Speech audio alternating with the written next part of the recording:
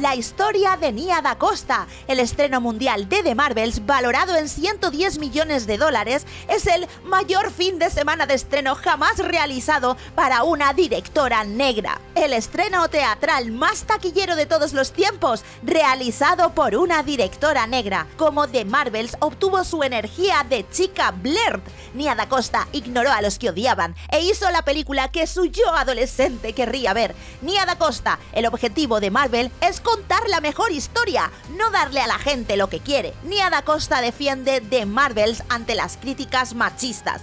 Es muy importante mostrar mujeres en estos papeles. Nia Da Costa explica cuánto ha cambiado The Marvels antes del estreno y cómo lidia con la campaña de odio online. The Marvels se enfrenta a una campaña de odio online debido a su enfoque femenino y reparto inclusivo. Nia Da Costa dice que Capitana Marvel representa a todas las mujeres que sostienen al mundo en sus hombros. La directora de The Marvels responde a las calificaciones de la película como woke. Bueno, pues parece que ya tenemos nueva mujer empoderada a la que la prensa quiere canonizar en el altar del afrofeminismo. Hola a todos y bienvenidos un día más a mi canal. Estaba haciendo mis cosas de alienada oprimida, viendo cómo los progres se han atrincherado en su fortaleza de la victimización y de ahí no les saca nadie. Pobrecites, este mes está siendo especialmente doloroso para ellos, entre que Milei arrasa en Argentina.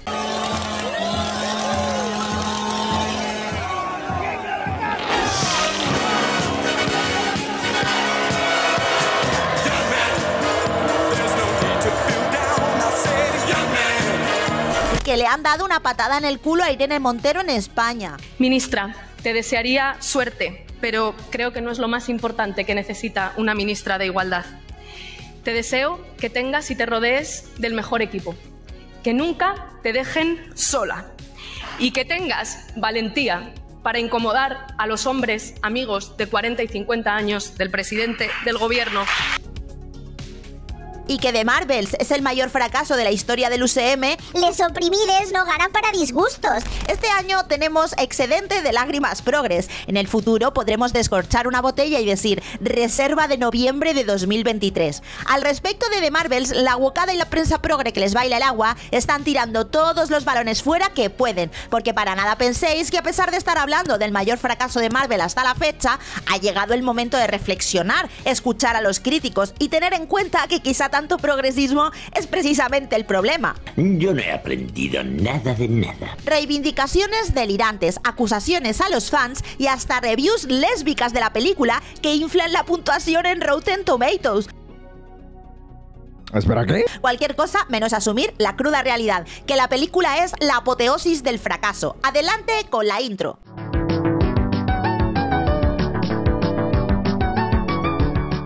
Nia Da Costa recaudó más de 110 millones de dólares durante su primer fin de semana de taquilla en todo el mundo. El estreno teatral más taquillero de todos los tiempos realizado por una directora negra. Sí, bueno, ¿quién tiene hambre?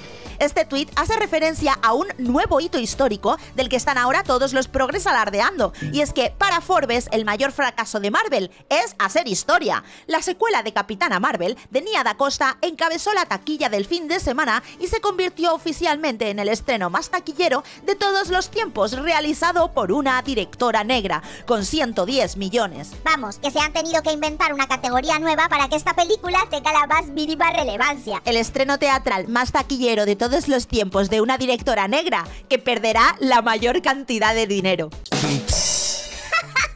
Es que, visto lo visto, el que no se consuela hoy en día es porque no quiere.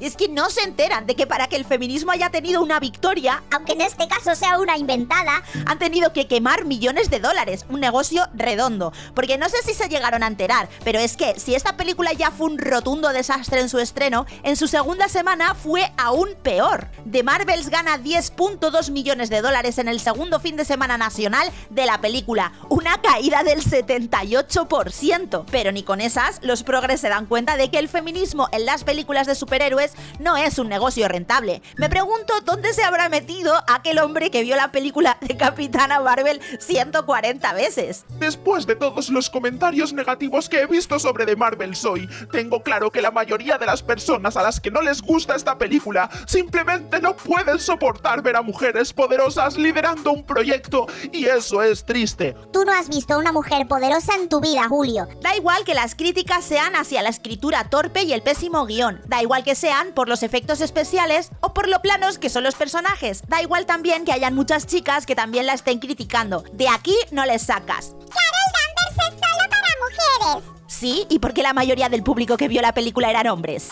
¡Porque son hombres! Como me encantan los personajes femeninos los hombres. En realidad los hombres y las pocas mujeres que la hemos visto nos estamos riendo. De la peli y de vosotros. Vamos a pasar ahora a la siguiente excusa, que es culpar a los fans. Esto no es nuevo. Lo hemos visto en demasiadas ocasiones. En Los Anillos de Poder con la victimización eterna de Ismael Cruz Córdoba. En la serie de Obi-Wan cuando Iwan McGregor cargó contra el racismo del fandom. E incluso en la serie de She-Hulk hicieron del insulto al fandom uno de los temas centrales de la serie. Y en esta ocasión no podía faltar. Y viene de la propia Nia Da Costa, quien dijo en Variety lo siguiente. Hay zonas a las que vas porque piensas, soy súper fanático, quiero existir en el espacio de la adoración justa, que incluye la crítica civilizada. Luego, hay sectores que son realmente virulentos, violentos y racistas y sexistas, homofóbicos y todas esas cosas horribles. Y elijo el lado de la luz, es esa la parte del fandom que más me atrae. Es gracioso que ella hable de racismo en un artículo que se llama ¿Cómo The Marvels obtuvo su energía de chica Blair? Blair es una nueva palabra progre que es la unión entre black y nerd. O sea, que me está hablando de racismo la misma persona que está orgullosa de segregarse a sí misma y a las demás personas negras dentro de la comunidad nerd. Me parece ya el colmo de la hipocresía esto. Aparte, hace solo dos meses, en septiembre, Niada Costa estaba asombradísima con que los blancos la hubieran tratado bien. Lo que más me ha sorprendido últimamente es el respeto que recibo de estos tipos blancos de mediana edad con los que trabajo. Vamos, que se lleva victimizando tantísimo tiempo que ya no sabe lo que es el trato entre humanos normal. Niada Costa tuvo más palabras para los fans en el diario El Español, donde admitió lo siguiente en el artículo Niada Costa, el objetivo de Marvel es contar la mejor historia, no darle a la gente lo que quiere. Planifican mucho todo y saben muy bien lo que quieren hacer y hacia dónde dirigirse. Y tienen tantos proyectos. En Marvel tienen en mente el papel de cada película, como quieren que exista dentro de la historia general. Así que en realidad se trata más de centrarse en eso, en lugar de tratar de responder o darle a la gente lo que pueda querer o pedir. Bueno, al menos nos confirma lo que muchos ya decíamos desde hace tiempo. A Marvel le importa tres hectáreas de pepino lo que quieran los fans. Gracias, Nia. El portal de activismo woke y tendencias Refinery 29, una simple filial de Vice, que al final no es más que un sitio de moda cara para pijo progres, lo tiene clarísimo. La activista afrofeminista Ineye Komonibo ha escrito un extensísimo artículo donde identifica un claro culpable del fracaso de la película más exitosa para una mujer negra. Para ella el wokismo es lo que le permite a las mujeres y a las personas de color salvar al mundo, y por lo tanto no es un problema. De hecho, según esta justiciera social, los trolls se van a arder porque las historias del MCU se volverán cada vez más progres. Menciona a Echo, a Ironheart y un eventual programa sobre Wakanda. Pero no os preocupéis porque Ineye tiene identificados a los culpables del escaso éxito del MCU.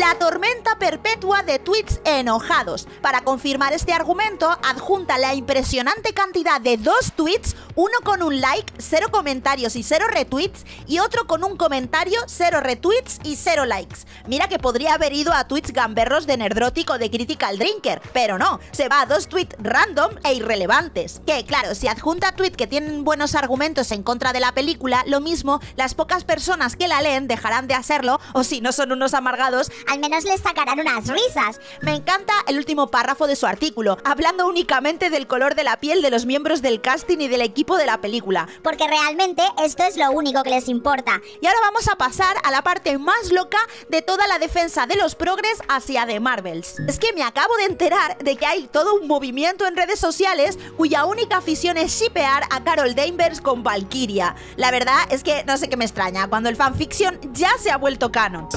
Marvel Um, and I wrote a lot of fanfiction. Tenemos montajes en vídeo que dan toda la vergüenza ajena. ¿Qué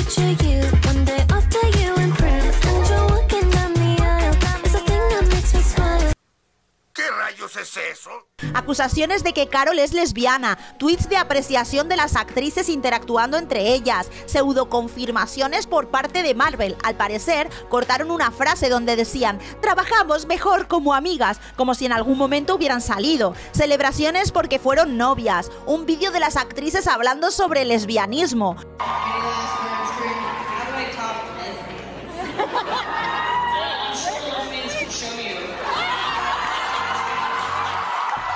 Unos cuantos tweets de las actrices bromeando con el mame. Es que claro, esto es demasiado para las niñas impresionables de Twitter. Con esto pueden estar escribiendo sus fanfics y haciendo sus fanart durante años. La pena es que estas tonterías no sirven para hacer que la gente vaya al cine. Pero ¿sabéis para qué sí sirven? Para subir la calificación de la crítica de Rotten Tomatoes. Sí, sí, como lo oyes. Te presento a Carmen Phillip.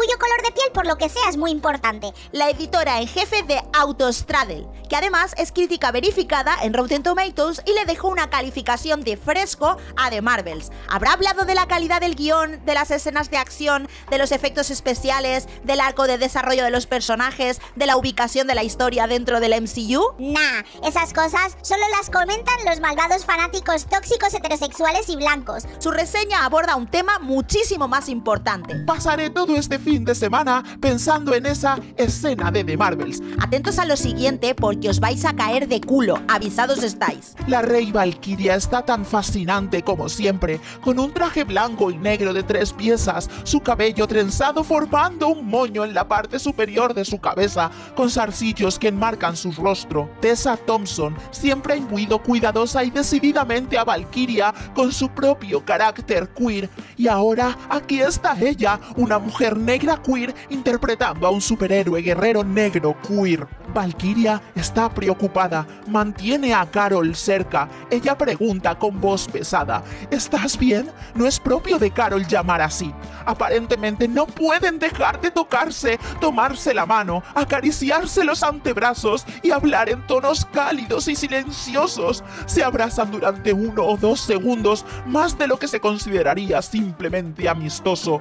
Contengo la respiración, pero sus ojos, sus ojos nunca dejan de buscar los ojos de Carol. Entre ellos pasan historias que nosotros, la audiencia, no debemos saber. Luego Valkyria se inclina hacia Carol lenta y suavemente y la cámara encuadra los perfiles de ambos. Ella dice el resto de sus palabras en un beso suave y prolongado, colocado en el pómulo de Carol. Está el tipo de gay que puedes ver y el tipo de gay que puedes tocar y luego está el tipo de gay que simplemente conoces. ¡Diablos, señorita!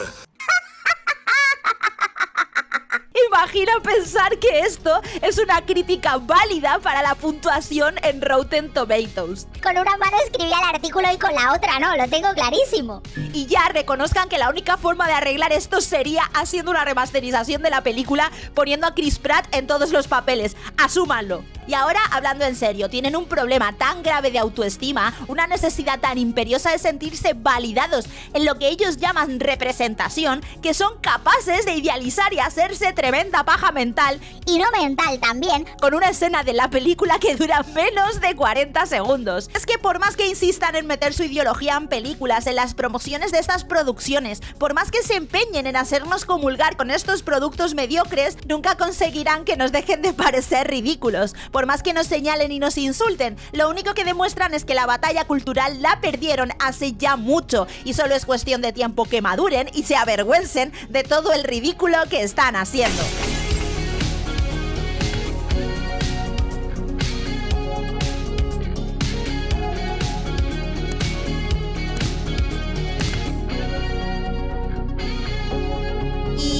Todo por el vídeo de hoy. Si te ha gustado, dale a like, comenta, comparte y todas estas cosas. No olvides seguirme en mis redes sociales o si tienes alguna sugerencia, escríbeme a mi correo. Y nada, yo os dejo que me tengo que ir a fregar. Un besito, chao.